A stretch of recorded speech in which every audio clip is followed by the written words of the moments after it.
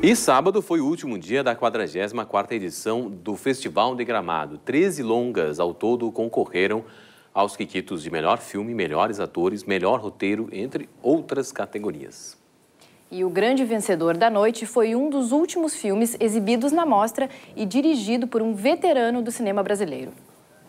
Ao todo, foram 15 quequitos entregues na premiação para os longas brasileiros e 9 para os longas estrangeiros. O grande destaque da noite foi o filme nacional Barata Ribeiro 716, de Domingos de Oliveira, eleito o melhor longa do festival. Além dessa, o filme também ganhou outras três estatuetas, nas categorias de melhor atriz coadjuvante, pela performance de Glauci Lima, melhor trilha musical e melhor diretor.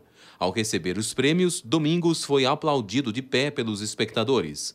Outros destaques foram os longas Roubo da Taça, vencedor de outros quatro quiquitos, e Elis, que ganhou três quiquitos, entre eles o de melhor atriz, pela performance de Andréa Horta. Pelos estrangeiros, o chileno Sinorta foi o destaque, levando três estatuetas. Ao todo, o Festival de Gramado exibiu 79 filmes, envolveu mais de 350 pessoas na sua realização e recebeu mais de 3 mil espectadores no Palácio dos Festivais.